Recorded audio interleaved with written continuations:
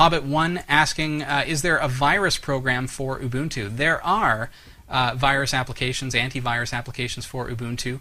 ClamAV, VK7HSE is saying. Uh, but the thing is, is that Ubuntu is not susceptible to viruses in the same way that Windows is. Basically, an antivirus for Ubuntu Linux is generally going to protect your Windows friends, or uh, you know, it stops viruses from spreading through your computer. But you're generally not you're not going to have a problem with getting infected. That's kind of the difference. So, um, but yeah, ClamAV is a good one to check out. You can find it in the uh, in the repositories, I believe.